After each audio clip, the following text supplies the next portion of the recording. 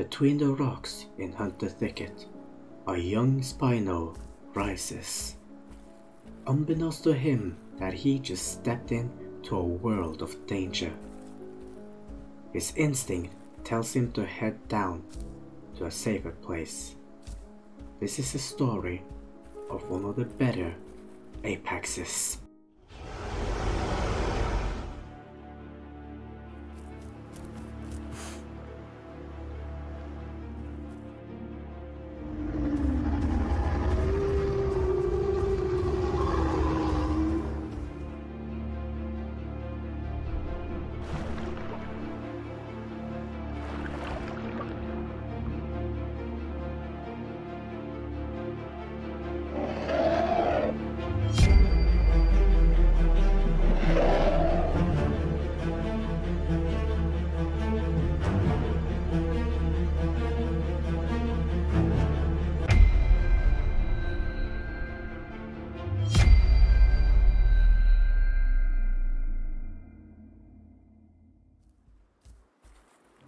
For now, we will call this young Spinosaurus One Sail. She is a female Spinosaurus and she has made it to the safety of the waters. She will spend most of her life in the waters. She is beautifully adapted for a semi-aquatic life. A powerful tail to propel her forward and powerful jaws with sharp teeth catch even the slippery of fish. She learns quickly how to catch them. It is good. Without any parents, her defenses are limited, and should she meet anyone, she would have no other choice but to flee. Being a semi-aquatic opens up a lot of options which not every creature on Gondwa has the access to an almost unlimited food and water, and a series of rivers and waterways that will fasten her travel. There's a handful of semi-aquatic species on Gondwa, and she needs to watch out for all of them. But by staying in water, they also attract prey. A young Thaumadromeus drinking, a perfect target.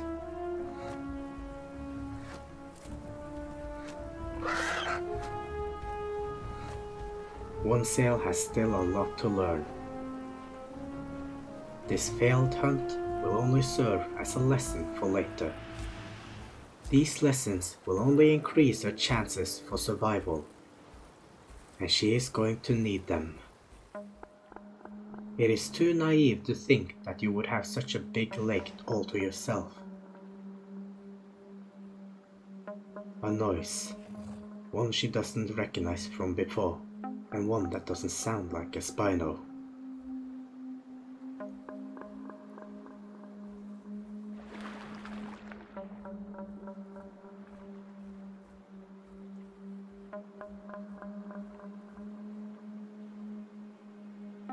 A young Deinosuchus.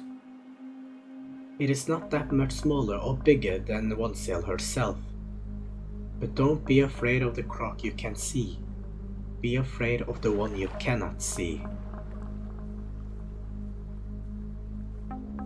Judging that this lake is too dangerous for her to stay at, she decides to migrate. To make sure she doesn't have any pursuers, she will have to do some risks. A leap of faith, if you will.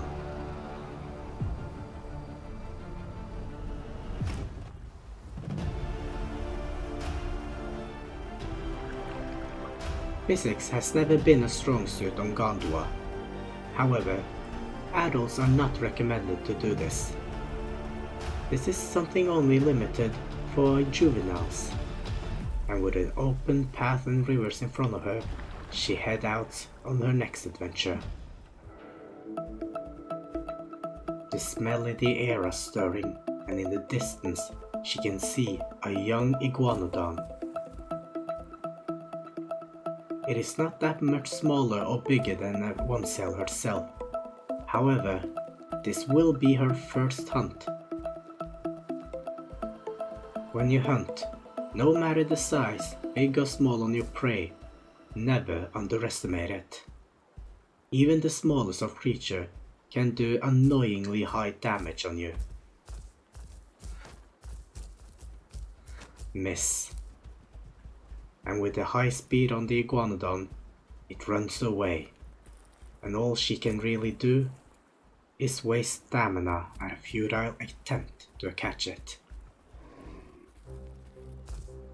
Night is upon Gondwa, and with it, chaos. In the distance, one sail can hear something rather arousing.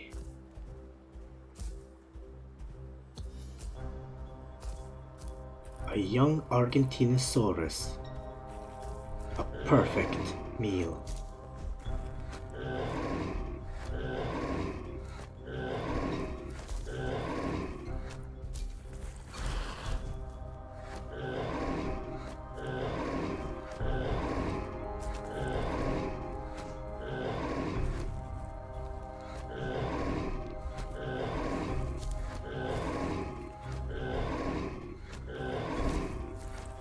Even though it's small, one sail gotta watch out for the tail.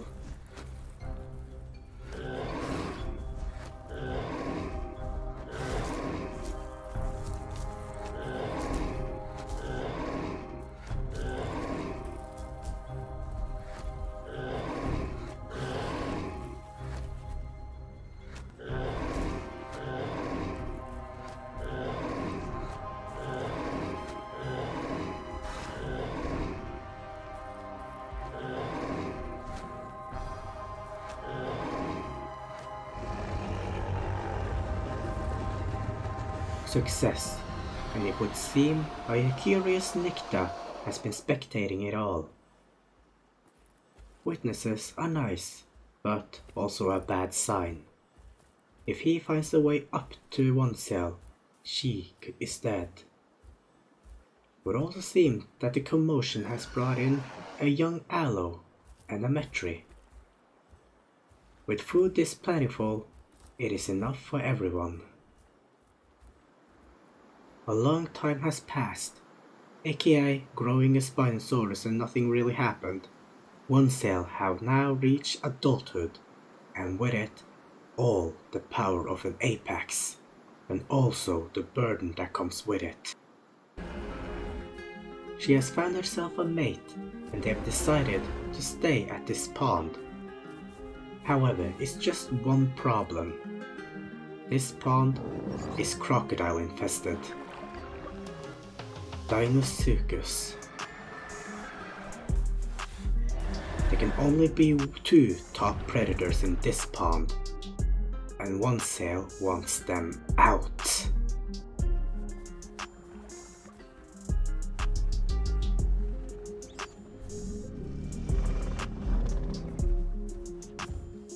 She needs to be careful though.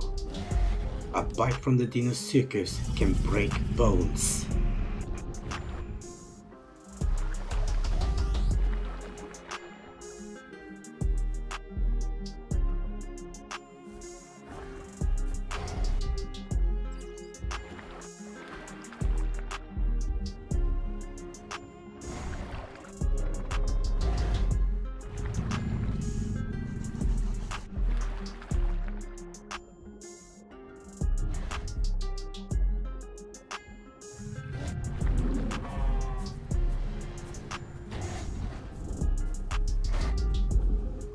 You would think that having a, such a massive cell on its back would be a handicap, and you're absolutely correct. Because a blow to the spine can be devastating, one sail gotta stay at the surface of the water. But in one sail's favor, she has two arms equipped with massive claws, ready to keep the Deinosuchus away from her underbelly. Those claws can inflict heavy bleed damage. One that the Deinosuchus don't wanna take. With one of the Deinosuchus slain, the other will flee. This water belongs to one sail and her partner. A new day has arrived, and one sail's partner has gone out to hunt. Their pawn has been visited by a Deinocheirus.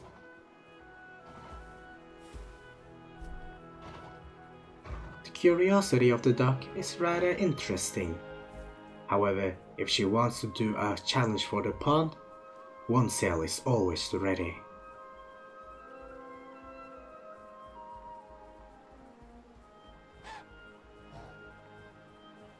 However, it would seem that she will have bigger problems to face.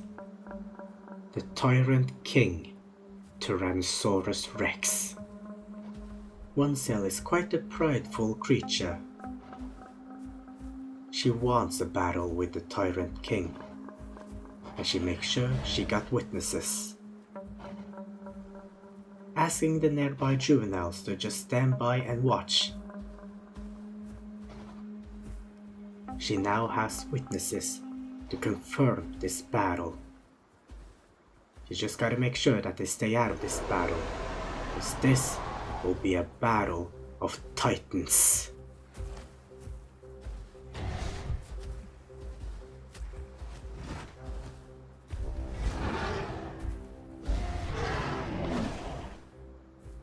Her claws will do massive amount of bleed damage.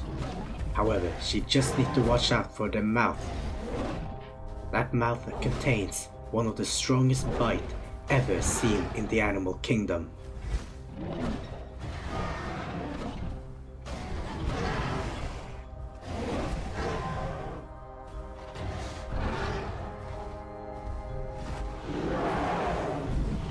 Seeing that it is in an unfavorable position, the Rex tries to move the battle inland where he can have the advantage.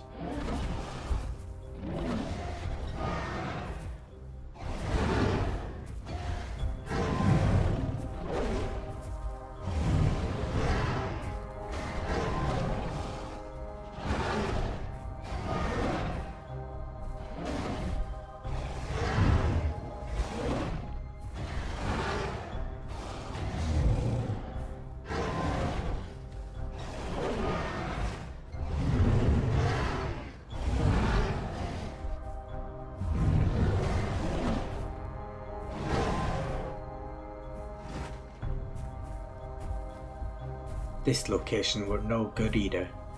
The Rex need the high ground. Will the tide of battle finally turn to his advantage?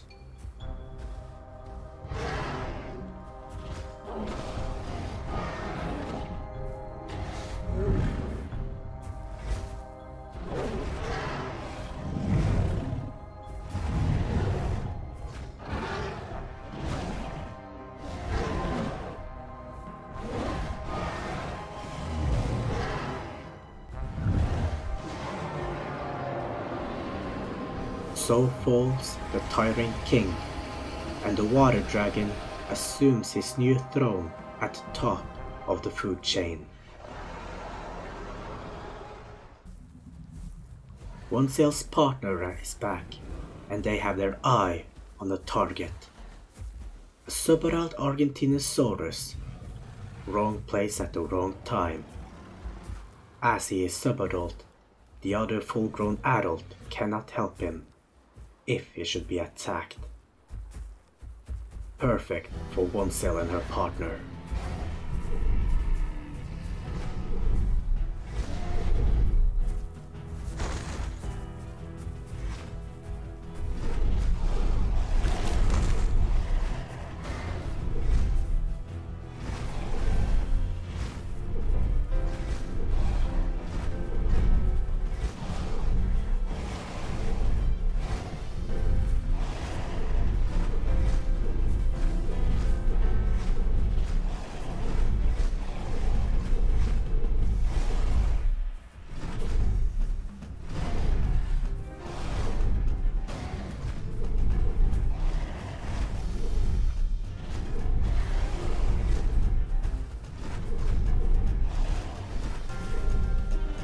This is not good. An Argentinosaurus, even as a subadult, are one of the strongest creatures on Gondwa. One sail is one tap from death. But with a roar, the Argentino falls. With the fall of the Titan, their position at the top of the food chain are once again strengthened.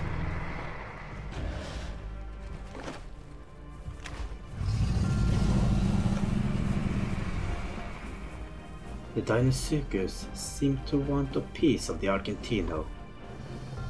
Lucky for him, there are food enough for all. And one sail needs to be careful and carefully here, but not after she has recognized the fighting spirit of the fallen Argent. Night has fallen, and one sail finds herself alone the. And now with a noisy neighbor, but she will not be outdone. She has already killed one Rex. This one shall be no different. There's only room for one on the top of the food chain. She is perplexed by why he would waste his stamina on that charged bite. But that does not matter. This Rex shall fall.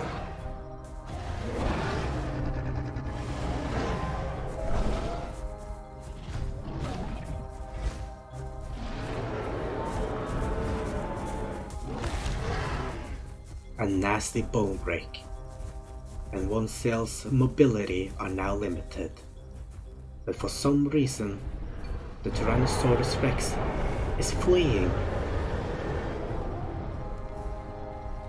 Has he recognized one sail to be the stronger creature? Only one way to find out.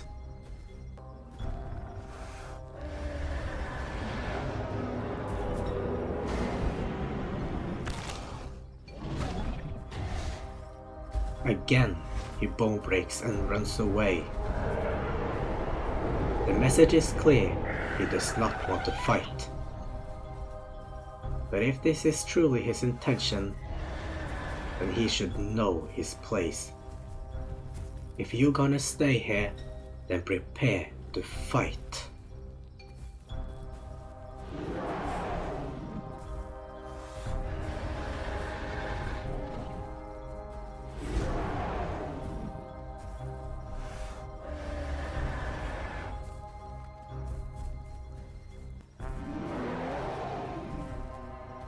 It would seem that he has gotten the message.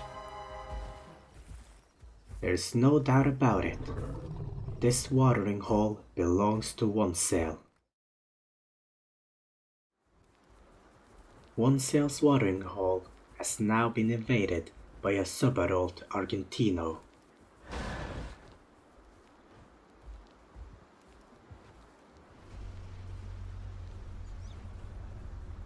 With her new partner, she is initiating a hunt. This titan will fall.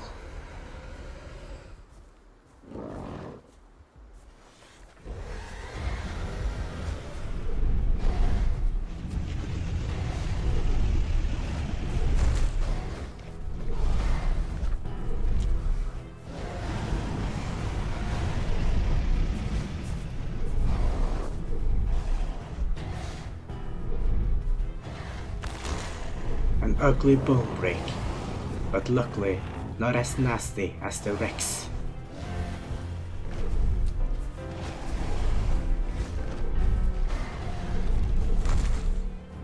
With one sail bone broken, the Argent targets her. Unfortunately for her, there are two.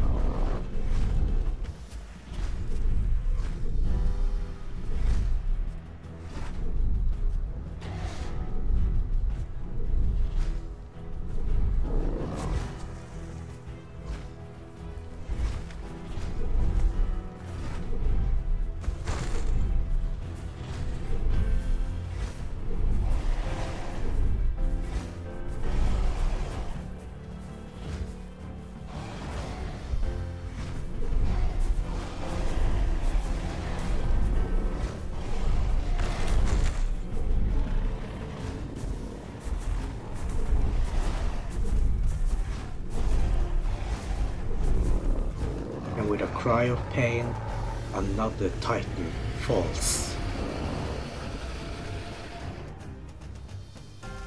This time, not as badly damaged as the last one. However, she still needs time to recuperate. And it looks like Adillo didn't get the memo on who's the king, or queen for that matter. the majesty of the Argent, the might of a Spino, and the audacity of this little rat.